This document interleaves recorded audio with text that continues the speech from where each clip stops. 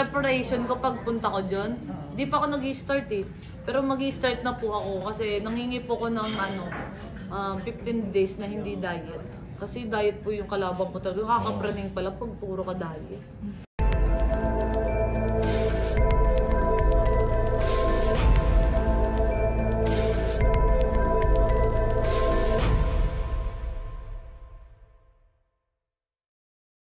Sa Planet International, may kasama kang interpreter?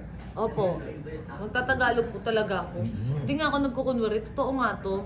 Hindi talaga ako marunong mag-English ng isang straightan. Ganito lang, mga ano lang, para ka nag-iipon, piso-piso. Yung preparation mo para ngayon? Para Preparation ko pagpunta ko dyan, di pa ako nag start eh.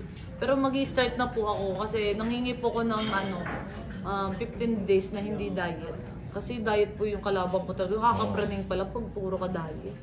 Hindi mo, butot balat ka lang, may kakadiet ka pa ba dito? Yun yung kalaban ko talaga kasi nakakapanghina, nakakapraning, nakakaluto ng ulo, ng utak. Ano naman kinakain? Wala, itlog-itlog lang. Ikaw, payag ka itlog lang. Tapos yung utot mo, may itlog na din. Mapera ka naman. Mudatong ka, dahil mo endorsement. Mamamatay ka naman sa gutom. Sabi nga ng lola ko dati, nabubuhay pa eh. Di baling mamatay ka sa ano, sa busog, wag na sa gutom eh.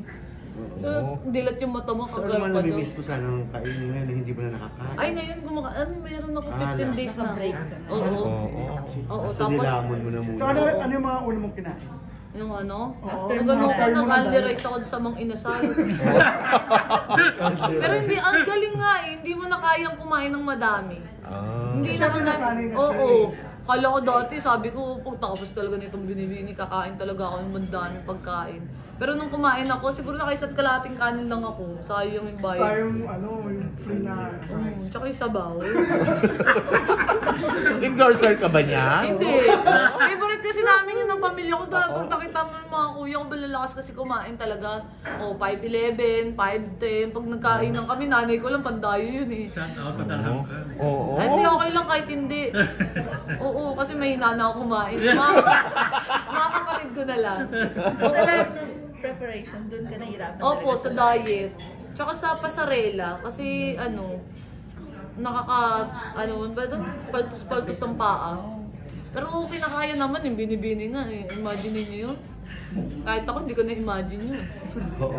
Pero anong unang-una mo talaga natutunan sa binibini? Hindi hindi makalimutan. Ah, disiplina po sa sarili. Number one po, disiplina sa sarili. Ngayon, bawal na ako masyadong ano yung mag-pek-pek short. Pag lumalabas, dapat naka... Ay, hindi naman masama yung pek-pek short. Kumbaga, parang ano, inaayon mo din yung ano mo, yung suot mo, yung asta mo, yung galaw mo. Ako nga, namiss ko yung ganito salita eh. Dati ganun sa binibini, hirap na hirap ako eh. Mapagpanggap pala, no? Opo, opo. Siyempre ngayon nilalabas ko na, wala. Tapos sa binibini, planet na tayo, di na nila alam to. Planet na. Oo, planet international na tayo. So, hindi na. Pero, no, masama ba ginagawa kong ganito ako magsalita? Ganito ko, Okay. Mas natural Oo, na. oo, kasi, Mas mapahalin ka ng mga tao. ganito kasi ako talaga magsalita. Eh, sabi, masyadong, ano, nagbabasa sa kasi ako ng mga comment eh. Ay, hindi ka, ano, hindi mo deserve, hindi mo kailangan na sumali dyan ng, ano, ng bunganga mo. Ay, be. Pasabog din ba yung mga dadalhin mong sa ano sa Planet International yung Na mga suot, costume. Ay, yun yung, ay, Sir Wilbert, pag Oo. hinalaan mo ng hindi maganda. Oo. Ay, Mima, oh. Charot. Oo. Hindi talaga ako kay Sir Wilbert ako, Oo. no? Pag sinabi Sir Wilbert, hindi yung magtitipid sa mga ano. Mm. Di ba? Sabi sa'yo eh. Pag So, na po yung bahay. hindi mo nakuha yung corona sa Binibining Pilipinas? Hindi, may crown ako. I mean, hindi talaga yung pinaka-crown na ano. Kumbaga, runner-up ka, ganun, syempre. Kumbaga, okay na yun sa'yo. Masayang-masaya ka na dahil sa mga nangyari sa'yo ngayon. At least may crown ako, no? Yun na yun, hindi mo na kailangan maghagad pa ng ibang bagay na hindi naman binigay sa'yo. Baka hindi para sa'yo yun. May para sa'yo talaga. Kasi para sa akin, hindi maliit na bagay yung first runner-up eh. Hindi maliit na bagay yung maliit kong crown. Ay, para sa akin, ang laking bagay na dinala sa buhay ko yan. Actually, parang napunan niya yung mga kulang ng pagkatao ko dati.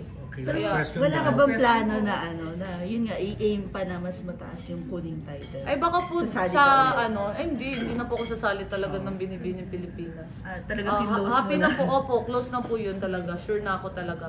Ah, sa Planet International na rin po siguro yung last ko. Kaya gagawin ko ulit yung best ko, kagaya ng ginawa ko po sa Binibini. Siguro hindi pa pala yung best ko dito sa Binibini, pero I did my best.